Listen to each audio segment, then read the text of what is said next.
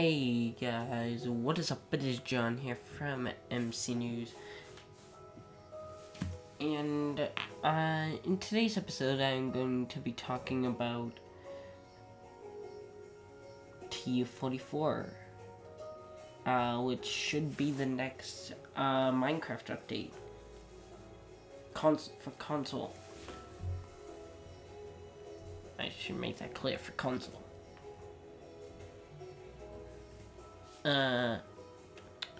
So I think in that update, uh, let's see here, we will be getting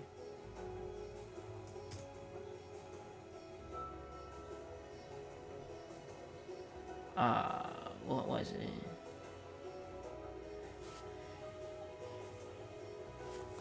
Ooh.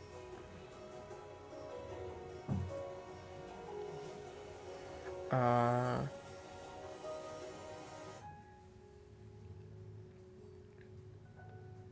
we will be getting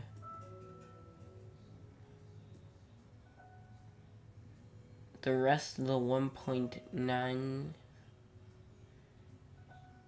and the 1.10 features. I'm thinking this because Uh, yeah, I'm thinking this because uh, some modders looked into the files and they saw the Elytra wings.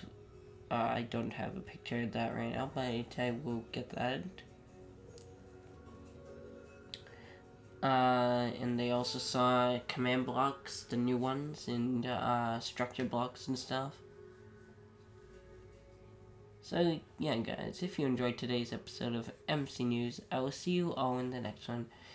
And please leave a like, it really shows support. And I will see you all in the next one.